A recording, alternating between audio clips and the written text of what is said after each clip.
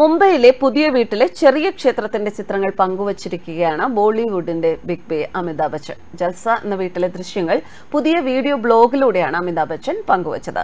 ശിവലിംഗത്തിൽ പാലഭിഷേകവും തുളസിത്തറയിൽ ജലവും പകരുന്നതിന്റെ ദൃശ്യങ്ങൾക്കൊപ്പം ഒരു കുറിപ്പും താരം പങ്കുവച്ചിട്ടുണ്ട്. വെള്ള മാർബിളിൽ തീർത്ത വിഗ്രഹങ്ങളാണ് ക്ഷേത്രത്തിൽ കാണാൻ സാധിക്കുന്നത്. ശിവലിംഗവും ശ്രീരാമ പട്ടാഭിഷേകവും വിഗ്രഹങ്ങളായുണ്ട്. സരസ്വതിയും ഇതിന് സമീപം രണ്ട് സുവർണ മണികളും തൂക്കിയിട്ടുണ്ട്. പൂന്തോട്ടത്തിലാണ് ചെറിയൊരു തുളസിത്തറയുള്ളത്. നഗ്നപാതനായാണ് താരം പൂജകൾ ചെയ്യുന്നത്.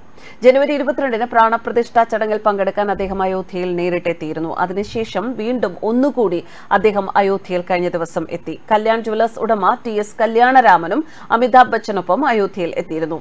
രാംലലയിൽ ചാർത്തുന്നതിനായി മാലയും സമർപ്പിച്ചാണ് കല്യാണരാമൻ മടങ്ങിയത്. ഇതിന്റെ ചിത്രങ്ങളും കല്യാൺ പുറത്തുവിട്ടിട്ടുണ്ട്. അയോധ്യ സിവിൽ ലൈനിൽ കല്യാൺ ജുവലേഴ്സിന്റെ പുതിയ ഷോറൂമിന്റെ ഉദ്ഘാടനമായിരുന്നു.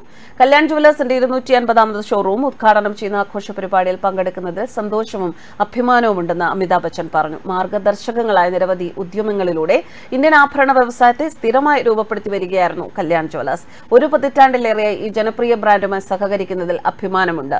വിശ്വാസം സുതാര്യത ഉപയോക്തൃ കേന്ദ്രീകൃതമായ സേവനം എന്നിവയിൽ ഉറച്ചു നിൽക്കുന്നതാണ് കല്യാൺ ജ്വല്ലേഴ്സിന്റെ പാരമ്പര്യമെന്നും ഈ സവിശേഷമായ ആഭരണ ബ്രാൻഡിനെ അയോധ്യയിലെ ഉപയോക്താക്കൾ ഹാർദമായി സ്വീകരിക്കുമെന്ന് ഉറപ്പുണ്ടെന്നുമായിരുന്നു അദ്ദേഹത്തിന്റെ വാക്കുകൾ.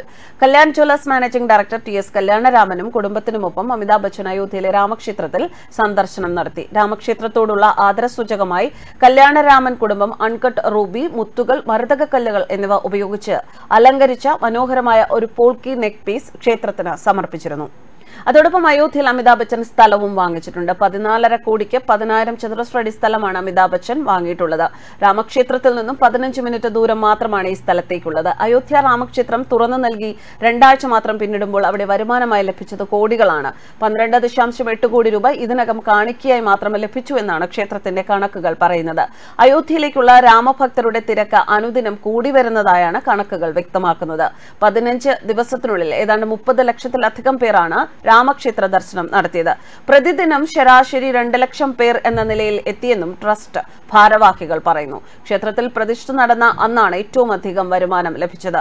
മൂന്ന് കോടി പതിനേഴ് ലക്ഷം രൂപയാണ് ജനുവരി ഇരുപത്തിരണ്ടിന് മാത്രം കാണിക്കായി ലഭിച്ചത്. പിന്നീടുള്ള ഓരോ ദിവസവും ശരാശരി നാൽപ്പത് മുതൽ അൻപത് ലക്ഷം രൂപ വരെ ലഭിച്ചുവെന്നും കണക്കുകൾ വ്യക്തമാക്കുന്നു. ശ്രീകോവിലിൽ സൂക്ഷിച്ചിരിക്കുന്ന നാല് പെട്ടികൾ ഉൾപ്പെടെ ക്ഷേത്ര പരിസരത്ത് സ്ഥാപിച്ചിട്ടുള്ള സംഭാവന പെട്ടികൾ വഴിയോ ഓൺലൈനായോ ഭക്തർക്ക് കാണിക്ക നൽകാം. News desk കർമാൻസ്